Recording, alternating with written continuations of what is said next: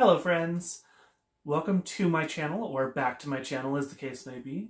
We are up to day 36 of our 1001 tarot readings. Today is the last of the three card readings. Today's spread is a three card spread on the topic of how do I best go about my first day at a new job. We're going to get into it by using the Chromatic Fates Tarot and let's see what the cards have to tell us. So, why would you want to do a spread like this? This would be for those times that you've started a new job and you're trying to identify who do I need to watch out for? Who's got my back? How do I integrate into the job environment swiftly and well? So, card number one is who will be my ally? This is going to be representing a person. Card number two, who should I be wary of? This does not necessarily mean they're a bad person. It just means that they have the possibility to really mess things up for you. Card number three, how should I act initially? How should I present myself to these people? So we're going to use the whole deck. And we will find out what our first card is in just a moment. Okay, card number one. Our ally is represented by the Ten of Wands. Okay.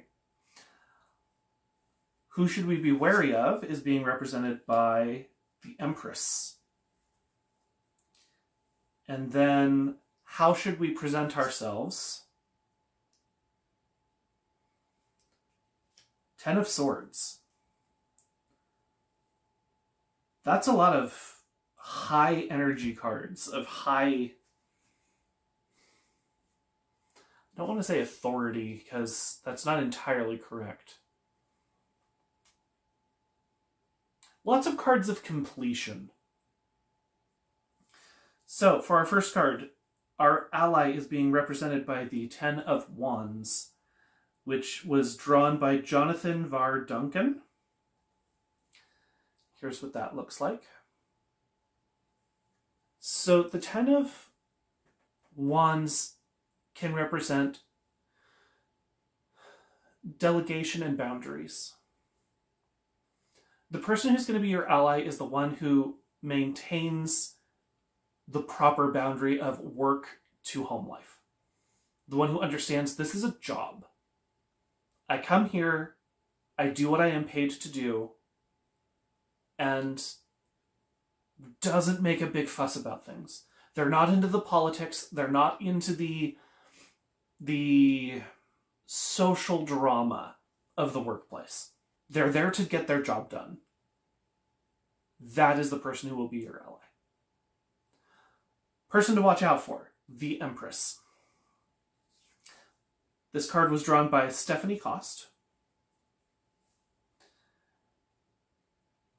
The Empress is feminine authority. My inclination is that there is someone who is, think store manager if it is that type of employment, or district manager, possibly a VP if you're in that style of job, who wants to run the show. They want to be in charge of every detail.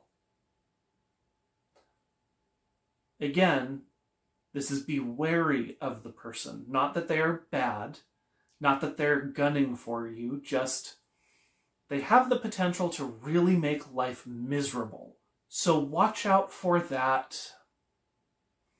Gotta climb the ladder, feminine energy individual. Because just because it's the Empress doesn't mean it's a man. It means that they're going about the climbing the ladder in the feminine energy way. Keep an eye out for them. Card number three, how should you present yourself? Is being represented by the Ten of Swords reversed, which was drawn by Elaine Ryan. Ten of Swords typically represents the defeat of a large challenge, the completion of The great beast has been slain.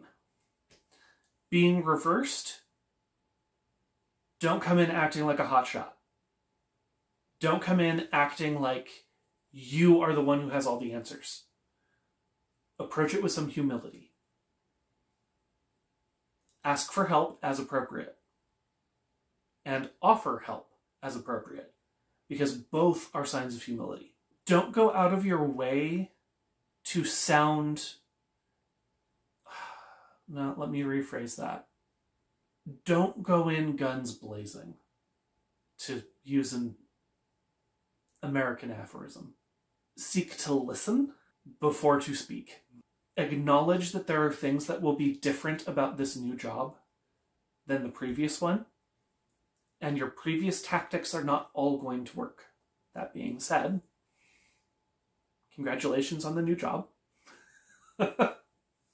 I hope this reading helps you as you go about integrating yourself to the new workplace. If you have enjoyed this and are deriving benefit from these videos, please leave a like, comment, and if you really enjoyed it, subscribe so you can see the rest as they continue being made. Until next time, walk in the light, my friends. Bye.